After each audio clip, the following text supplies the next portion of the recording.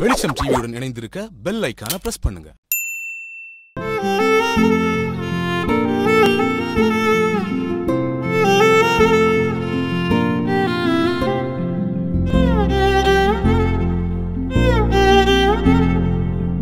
படத்தில் வயல் வெளிகள் அதோட பகுதிகளில் இருந்ததுனால கொஞ்சம் அதோட ஈர்ப்பு ஜாஸ்தி ஆயிடுச்சு. வீட்டில் செடி வைப்போமே ஒரு ஆறாவது ஏழாவதுலேருந்து ஆரம்பிச்சது. அதோட தொடர்ச்சி இந்த லெவல் வரல வந்துருச்சு. மொட்டை மாடியிலே நம்ம கார்டனிங் பண்ண முடியாது. சரி நம்ம ஏன் தொட்டியை தொங்க விடக்கூடாது? இப்போ தொழிலும் அது சார்ந்ததான் இருக்குது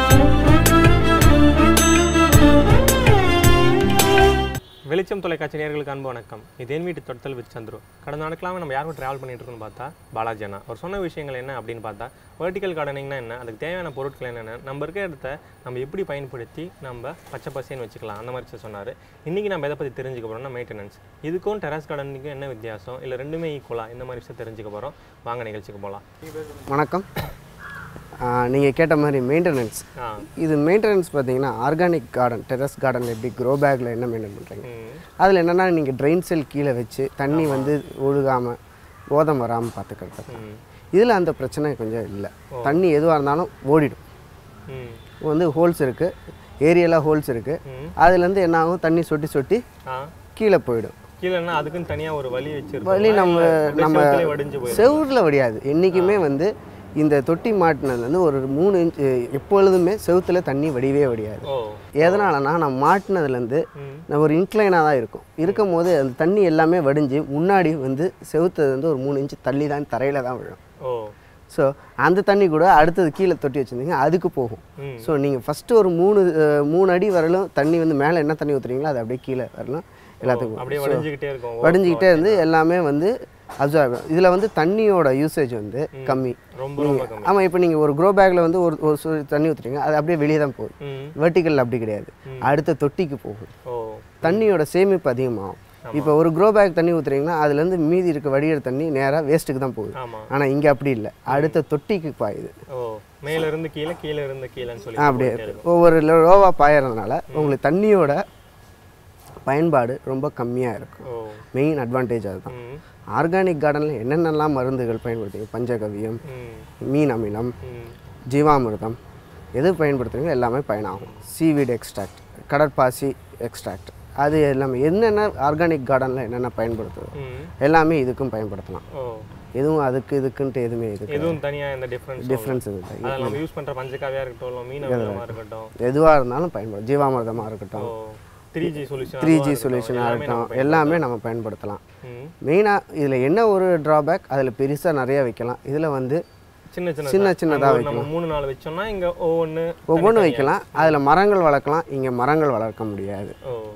அதுதான் மட்டும். தண்ணி வந்து இதில் சேமிப்பு அதிகம்.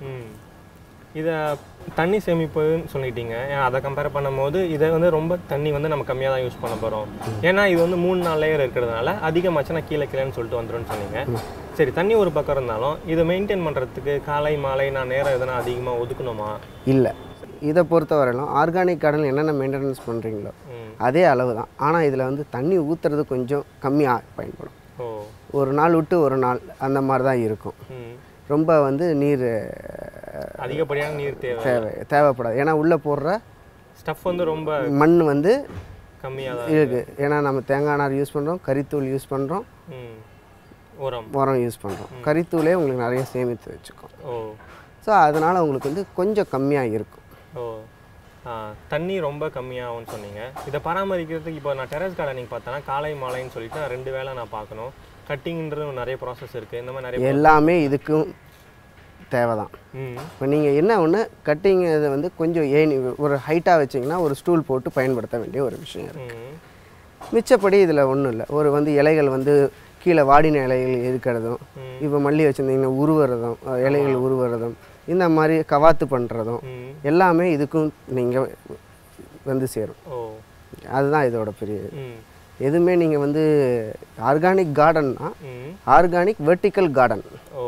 அது ஓடிஜி இது ஓவிஜி வச்சுக்கலாம். இது நம்ம உள்ள வெர்டிக்கலாக வைக்கிறோம். அதை நம்ம வெளியில வந்து கீழே ஹரிசாண்டலாக அப்படியே ஹரிசாண்டலாக வைக்கிறோம். வித்தியாசம். வித்தியாசம். வேறு எதுவுமே இல்லை. ஒன்று அதில் பெரிய பெரிய மரங்கள் வளர்க்கலாம். மாடியில். இதில் வளர்க்க முடியாது. அது ஒரு மிகப்பெரிய ட்ராபேக்ஸ் ட்ராபேக் ஆனால் இன்னைக்கு வந்து ஒரு ஃப்ளாட்டு தான் நிறைய போயிட்டுருக்கு. யாரும் மரங்கள் தனி வீடுகளே கம்மி ஆயிடுச்சு. இடம் இல்லை. ஆமாம் ஒரு பால்கனியில் நீங்கள் என்னென்ன பண்ணலாம்? இப்போ ஒரு ஒரு ஒரு அப்பார்ட்மெண்ட் எடுத்துட்டிங்கன்னா ஆயிரம் வீடுகள் இருக்குது ஆயிரம் வீடில் ஒரு ரெண்டு பால்கனி இருக்குது அந்த ரெண்டு பால்கனியில் நம்ம எப்படி பயன்படுத்தி நம்ம வீட்டுக்கு தேவையானதை கொண்டு வரலான்ங்கிறது தான் இதில் இது வந்து நீங்கள் வந்து அங்கே வந்து க்ரோ பேக்ஸ் போட்டோ இது பண்ணி வீடியும் வீட்டுக்குள்ளேயும் அது பண்ண முடியாது. சில இடத்துல க்ரோ பேக்ஸ் போடலாம். நிறைய பயன்படுத்தணும் என்ன பண்ண முடியும்? வெர்டிக்கலாக தான் போய் ஆகணும். இப்போ ஆயிரம் வீடு இருக்கிற ஒரு அப்பார்ட்மெண்ட்டில் வந்து நம்ம வந்து எதிர்பார்க்க முடியாதுல்ல. ஆமாம் எல்லாருமே டெரஸ் கார்டனிங் பண்ணுவாங்க எதிர்பார்க்கவும் முடியாது. டெரஸ் அது வந்து நிறைய ப்ராப்ளம் இருக்குது அப்பார்ட்மெண்ட்டில் உன் பால்கனியில் நம்ம வீட்டு பால்கனியில் நாம் வந்து வெர்டிக்கலாக பண்ணும்போது புதினா கொத்தமல்லி கீரை வகைகள் பொன்னாங்கண்ணி. இதெல்லாமே நீங்கள் பயன்படுத்தலாம். ஓ சரிங்க சரிங்க. பண்ணலாம். இப்போ வந்து சம்மர் சீசன் வந்துடுச்சுல்ல. இப்போ வந்து வெர்டிக்கல் கார்டனிங் நம்ம இண்டோரில் வச்சா எந்த பிரச்சனையும் இல்லை. ஏன்னா சன்லைட்டும் ரொம்ப கம்மியாக தான் இருக்கும். தண்ணி சேவையும் நம்ம கொஞ்சமாக ஊற்றுவோம் இப்போ சம்மர் சீசன்றதுனால இப்போ நான் வந்து வெர்டிக்கல் கார்டனிங் வெளியில் வச்சா எனக்கு நிறைய பாதிப்பு இருக்குமா? இல்லை என் செடிகளுக்கு பட்டு போயிடுமா இறந்து போயிடுமா? இல்லை. நீங்கள் கேட்குறதே ஒரு வித்தியாசமான ஒரு கேள்வி. வெர்டிக்கலான இண்டோரில் தான் வைக்கணுங்கிறது இது கிடையாது.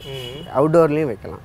நீங்கள் அவுட்டோரில் என்னென்ன செடி வளருதோ வெய் வெயில் சன் டாலரண்ட் பிளான்ட்ஸ்னு சொல்லுவோம் வெயில் தாங்கக்கூடிய செடிகள் எது வேணாலும் அதில் வளர்க்கலாம். அதனால் உங்களுக்கு இன்னொரு பயன் என்ன தெரியுமா? உங்களுக்கு வீடு குளுமையாகும்.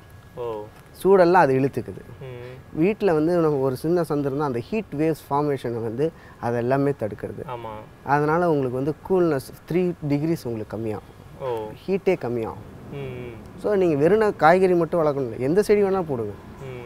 நம்ம எந்த செடி போட்டாலும் நம்ம ஹீட் ரெடியூஸ் ரெடியூஸ் பண்ணணும். வெய்ய காலத்தை பொறுத்தவரை நீங்கள் கேட்குறீங்க இந்த செடி போடாமா இது நம்ம என்ன டெரஸ் கார்டனில் என்னென்ன செடி போடுறோம் என்ன அதில் ஷேட் நெட் யூஸ் பண்ணுவோம்? கிச்சன் கார்டன் பண்ண முடியாது. அந்த நேரத்தில் வந்து அந்த ஒரு ரெண்டு மாதங்கள் நாம் வந்து பொன்னாங்கண்ணி கீரைகள் அந்த மாதிரி ஏதோ போட்டு நம்ம வளர்த்துக்கலாம். ஸோ வளர்க்கும் போது என்ன ஆகுது? உங்களுக்கு அதில் ஒரு நல்ல ஒரு பயன் இருக்குது வெய்ய காலத்தில் நம்ம ஏசி யூஸ் பண்ணுற மாதிரி அது அப்படியே கம்மியாகும்.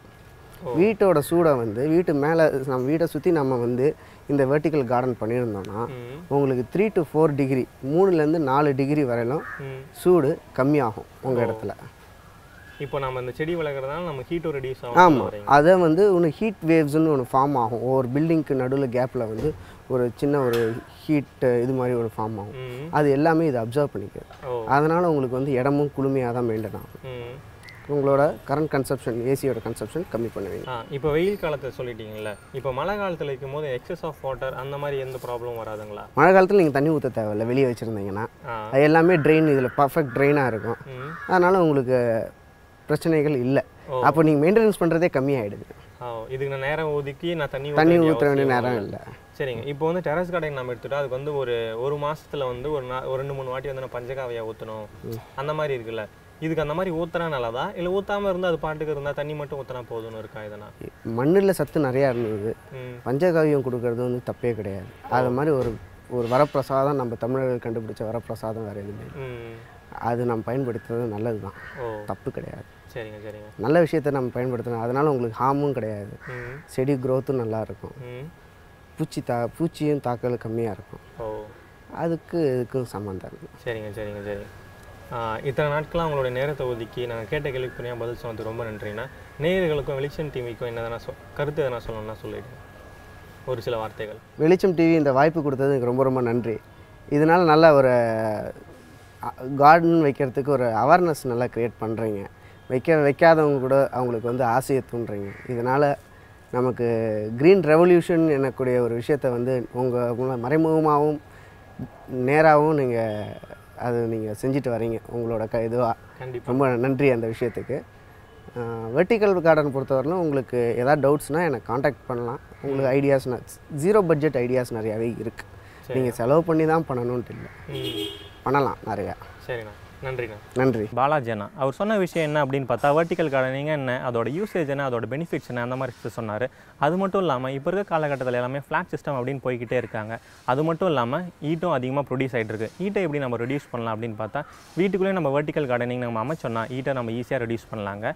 மீண்டும் வேறு ஒரு விருந்தினராக சந்திக்கலாம். அதுவரை உங்களிடமிருந்து விடைபெறுவது உங்கள் சந்துரு.